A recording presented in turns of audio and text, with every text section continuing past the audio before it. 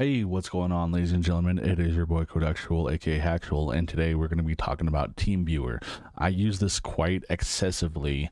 Um, it's my daily driver, and I always get this stupid message. Um, it says, "Oh, hey, blah blah blah. You're gonna have to wait another minute." Then once you wait another minute and you try to remote into another computer, it just kicks you out just instantaneously um, or at least within that 60 seconds. So we're going to go and remove this. The reason why that this pops up, it's because TeamViewer has detected that you are using it for commercial use and non-commercial use. Um, which is supposed to be the case here. So let's go ahead and clear this all up. We're gonna uninstall it. We're gonna get rid of the app data uh, team viewer that's inside that folder, uh, and we're gonna change our registries. So in order to fix this, let's go ahead and begin.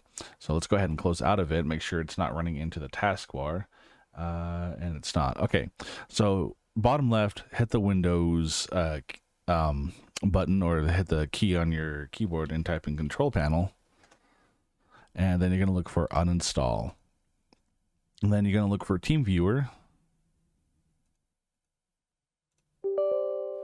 And let's go ahead and uninstall it. And I'll prompt up with this. I'm going to go ahead and remove settings.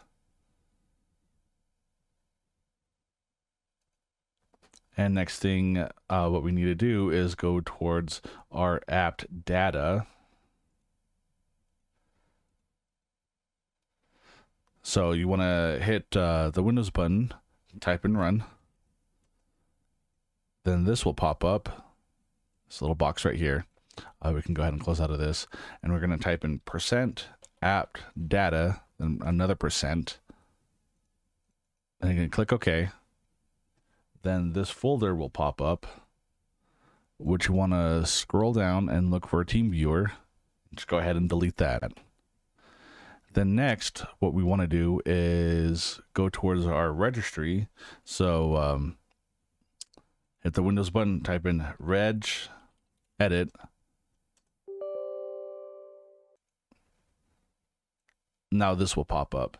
So the pathway, um, the first thing that we need to get rid of is go to the uh, current user, then scroll down for software then look for TeamViewer.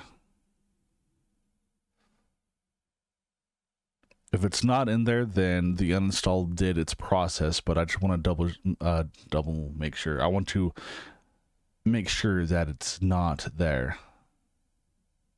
Uh, I do not see it. Okay, next thing is um, you want to go towards your local machine software and look for TeamViewer. Okay, there's one right there. So let's go ahead and get rid of it. Deleted. And now, since um, everything's all been cleaned, um, make sure that you uh, reset your computer, download the exe installer again, and let's see if we actually fix the problem. All right, so here's the installer. Let's just uh, go ahead and just do the thing. Um, if it ever asks for like a personal use, make sure that is selected. You never want to choose commercial use unless if you're like a commercial or a business owner and you're using that for their features. So it says I want to use the free version for personal use, which I do, and we're gonna go ahead and hit finish. Um, now TeamViewer popped up with my ID and password. Um, I don't want to show that. Um, however, I'm going to log into my machine or I'm going to log into my account and see if I can log into my machines. Um, I know you guys can't see anything at the moment, but that's okay. All right, now that I'm logged in, I'm going to go ahead and remote into one of my machines and uh, see if it works. It should. And I'm also going to wait for a few minutes just to make sure that it doesn't close out on us and provide us with that stupid error. All right, so it still gave me the commercial error, and this is going to be the last and final solution. Um, we want to go to TeamViewer slash en slash reset dash management. I will provide the links in the description. And uh, it says, was commercial use detected on your TeamViewer ID? And it was. And what we're going to do is we're going to go ahead and reset that. So it's going to say connect with the TeamViewer. We're going to go ahead and do that. We're going to allow it is requesting for permission. So I had to use a different browser because Brave didn't want to load up everything correctly. So the next thing is going to have you fill out your information. Then it's going to generate a PDF file. And you're going to upload that PDF file. Then, you know, you're just going to wait until they can fix the issue. That's basically it. If this was helpful to you, go ahead and like, share, subscribe to the channel. And I'll see you guys in the next video. You guys take care. Check out private internet access today. It's going to act as your digital content because when you're sticking your things in places where they don't belong, you're going to be yourself over.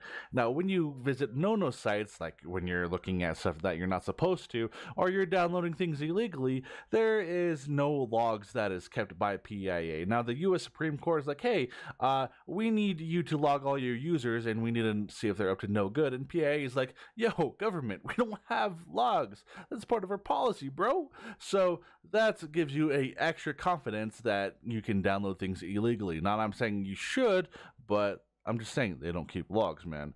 Now, if you can't afford for ten dollars, give or take a, a month, then don't click skip ad on my videos because I need that moolah. Buy PIA today. Thank you. Thank you for sticking around. Please feel free to watch my other videos. Don't forget to like, share, subscribe, follow my social media. If you're feeling generous, check out my Patreon or send in a donation of any amount with PayPal. It really helps out with post production, equipment, food in my belly, and also continue making free content for you guys. Links in the description. Y'all take care and thank you once again.